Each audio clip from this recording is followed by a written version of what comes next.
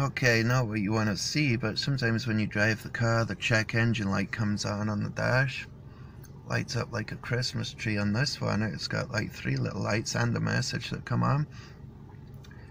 So I plugged in the scan tool to see what the fault is. You see three lights, it's actually two lights. A spanner, the check engine light, the spanner, and that all came on at the same time. So I plugged in the scan tool.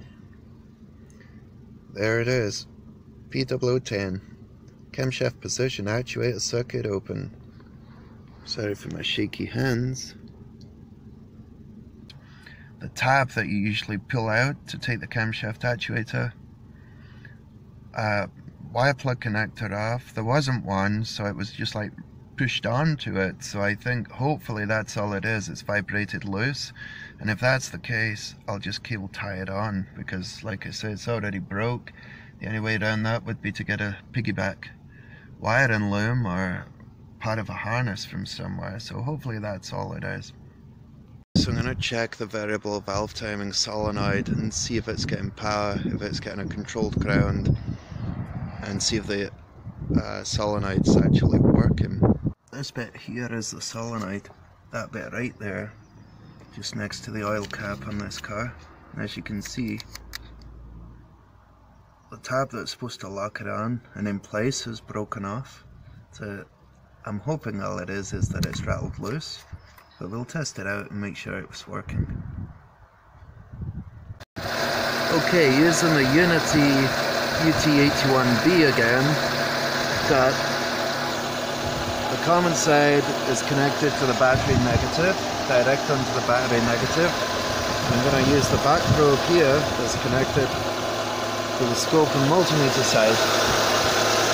And I'm just to slide it in here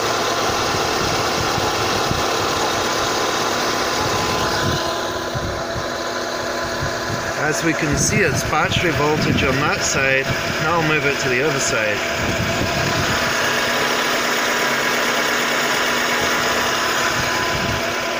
And it's also battery voltage. Wire is showing 2.5 volts, just because that's going from the engine ECU over here, and it's sending a bias voltage all the way down the wire right here.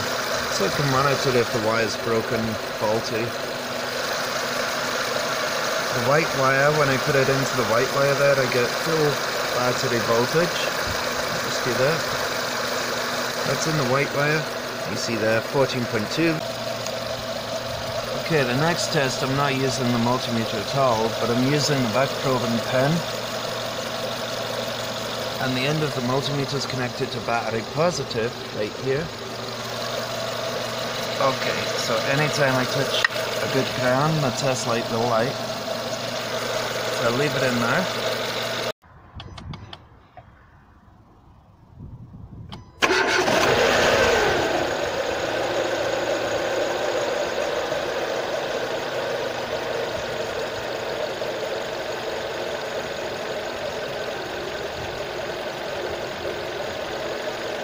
That's when I switched it off and started it again. And I think when you do that, it does a pre-check after a few seconds you can use a night light instead of doing it this way and it should work just the same way. Lights up after a few seconds, stays on for about a second. That means we're getting a control.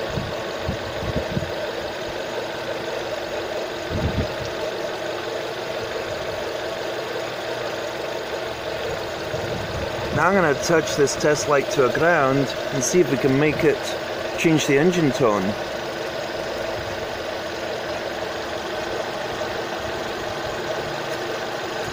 and it's not.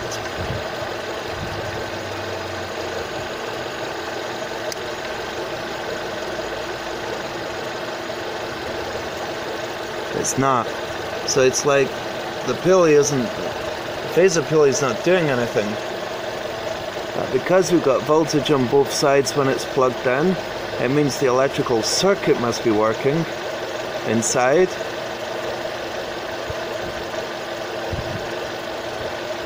when I plug it onto the battery positive with the test light it lights up when I switch it on meaning it's getting center ground from the engine ECU. So it's being controlled to be switched on to make this work. But if I give it power, it might just be there's not enough flow through this. So I'm going to change this out for a lead and see if I quickly, now that I know which wire is which, we could shoot, we're fairly safe to do this. I'll try it with a lead without this because this is only going to allow like 200 milliamps. It may not be enough to work the solenoid, which could be more like 1000 milliamps. I'll try, I'll try it that way.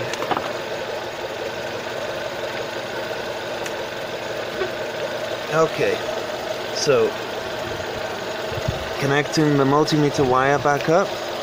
Now we'll quickly join this onto a ground, see if we get an engine change its um, tone as the valve timing changes. Nothing. No change at all.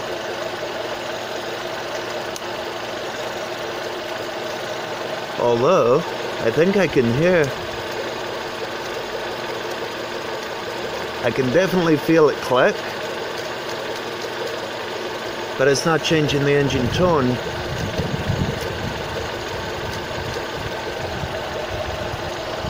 So it's getting its control. And if I make it work, nothing's happening. It could be a faulty defaser pulley or something in the, the solenoid itself that's clicking but not actually working.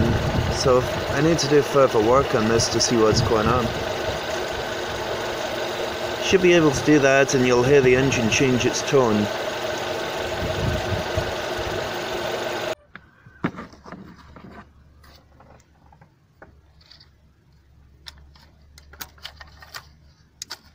Okay, take this out. Here it is, I got the solenoid out for the variable valve time and this is what it looks like. Like I say, the wire that clips onto here, plug's broken a bit so it doesn't actually snap over this lock. Main thing is when I activated it I could hear this clicking but there was no change and I don't know if you can tell but that solenoid is absolutely full of crap and its is totally choked at. You can't really get this to focus, maybe that's a bit bad. That see that? It's like swarf. Pure shite. Gunge. So when I clean this, not, not surprisingly it didn't work then when you look at that crap. I'll give it a good wash out. But I'm glad the gauze was there, so it's done its job. I shake it, can keep the camera still. It's not making any sounds, like the plunger's not moving inside. Don't know whether it's meant to.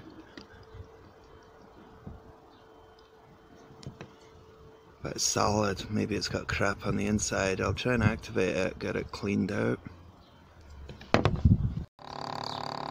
Yeah, I just got it set on to continuous on this. Uh, it's actually an injector tester. I get it set on option 4 which was continuously pulsing it on and off. And yeah, I just connected to the battery there using the injector tester, but I'm not. It's not an injector. But because it's pulse width modulated, I thought I'd try it on this. See what it's like with the on-off, and it seems to be coping fine. I think it's actually okay. I'm hoping that when I, now that I've cleaned out the gauze, it'll run okay. Okay, I had a fault before. When I was checking for faults, I used the OBD2 uh, side of the scan tool rather than the, the manufacturer side of the scan tool. I had one fault and that was the solenoid for the variable valve timing circuit was short or open. Now that I've gone into the manufacturer side of it, there's a whole bunch of faults. Right. So gonna, I've not cleared these on this side. I'm going to have to do that first, I think. Yeah. It's all basically a lot of the same faults, so let's try and clear them. I think I need to switch the car off and put just the ignition on. Yeah. So, let's try that quick. It's one of those cars that don't have a key, it's a key card. Okay, faults may still exist. Let's see what they are. Yep. All of them. One second, I think the the ignition needs to be on and I haven't got it on. Let me try this.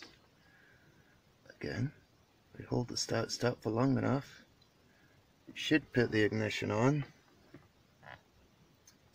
Nope. Let's try again. It's supposed to be like 10 seconds holding this key in. Puts the ignition on. And I'm not getting that for some reason. Let's take the key out, put it back in. There we go. It did something, but the ignition is still not on.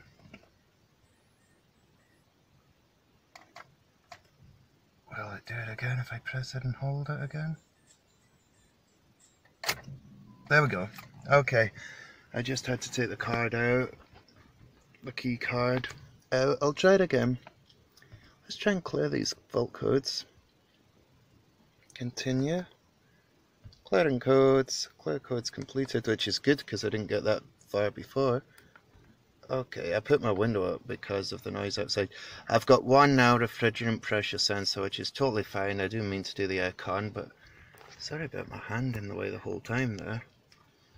Still getting new to uh, this filming. Might invest in a better camera and stuff eventually, but it's all new to me and I mean to improve. If you've got any comments on how I can improve it, any suggestions at all are totally welcome because I want it to look more professional. Anyway, that's that done. So now I'll start the car. Right, as it started.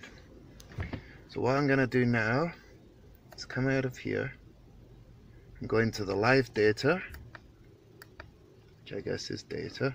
I could probably have done a function test with this. You know, function test it.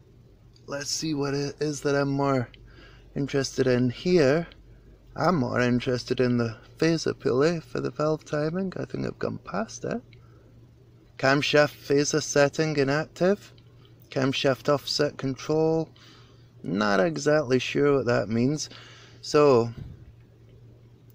why uh, what I wanted to do was get what it was looking for the position to be and what it actually is. There we go. It's gone up to... I'm not getting anything that's suggesting it's doing anything other than the percentage. That doesn't mean it's moving at all.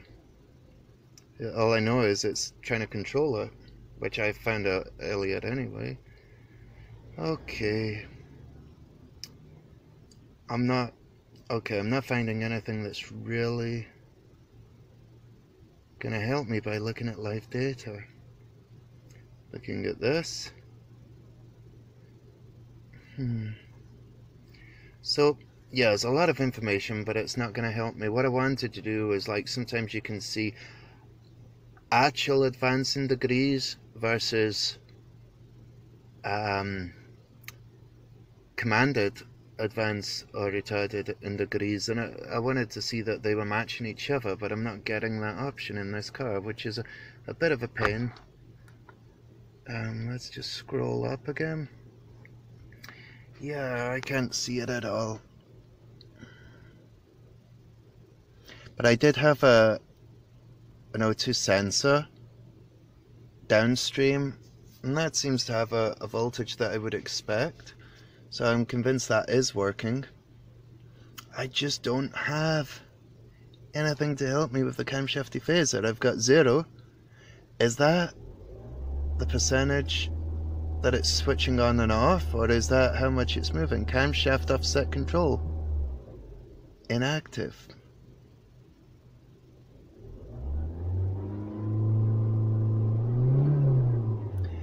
Okay, that's not changing at all. So what I'll do, just a thought, if I check for codes again, I'm not, it's not thinking there's a fault with it. I could see using the injector tester that it's working you can blow through it and then it's choked when you don't blow through it when it's not getting power. To me it, it's like the solenoid's working but when I fitted it and did the test again where I gave it a ground to see if I could hear a change in the engine tone I didn't. And I'm sure I've done it on this type of car before. You could really hear a clear change to impact any car I've done it on. I could hear a change to the engine tone. I don't know if that's a good way of testing it or not like that. It's worked in the past. Uh, I think at this point I can say the wiring's okay the solenoid appears to be okay. Definitely giving the engine oil and filter a change will be a good idea. Looking at the crap that was around the gauze um, although I think at this point it's looking like I'm going to have to change the variable valve time and phaser pulley fit a new one and see how I get on. And uh, I don't know what your thoughts are on this if, if you've ever had a same issue but I'll, I think I'll drive it first maybe change the oil and drive it and see if the light comes back on and if it doesn't log it as a fault code in the future maybe it is working and you're just not going to be able to shut it out and get much of a difference. But it's uh, you know when, when I give it a ground to activate the solenoid in the car with it running it might just be that's not a valid way of testing it. But at least I know I've tested the wiring and the solenoid. I did find that solenoid was choked and I hope that was going to be enough uh, unblocking it. But um, doesn't look like it's going to help in this case. I'll see I'll just see how I get on. Uh, if you got any ideas though? Just leave them in the comments